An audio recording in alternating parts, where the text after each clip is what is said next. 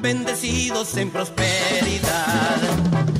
Con amor a Nicaragua, seguiremos adelante, junto a nuestro comandante. ¡Viva Nicaragua, viva el frente! Vamos, con Daniel, vamos, adelante. algunas comunidades que no ha llegado la luz o el agua, pero ahí va, ahí va y esté esa confianza. Esté esa confianza porque si este gobierno sigue, es seguro que va a llegar la luz y que va a llegar el, agua a la última persona de aquí. Eso tengo claro.